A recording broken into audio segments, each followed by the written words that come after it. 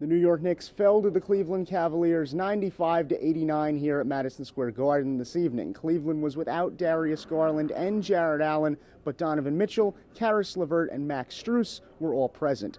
As for New York, they were without the services of RJ Barrett. He was a game time decision, but ultimately sat out due to some soreness in his left knee.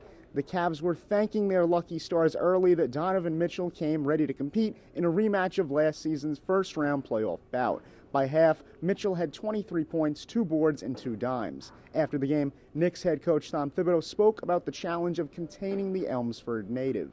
You're not guarding a guy like that individually, it's, it's done collectively.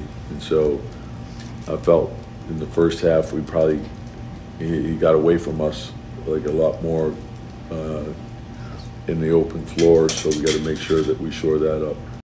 The Orange and Blue were aided by a strong first half from Donte DiVincenzo. Their main offseason acquisition put up 12 points in the first act. The Knicks were able to hang in this one despite Mitchell's red hot start.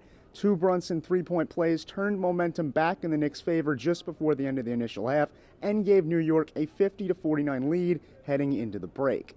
The beginning of the second act saw the Knicks lose serious steam. At times in the third quarter, it was apparent they were not playing as a true unit on offense. Ultimately, Cleveland would begin to pull away and create separation even when the Knicks showed spurts of life. All told, Mitchell would tally a game high 30 points, while LeVert and Mobley would combine for 33. The Knicks got double figure scoring marks from Brunson, DiVincenzo, Quickley, and Hart, but suffered from an overall lack of unity. Additionally, Julius Randle was only able to supply six points on a poor shooting night.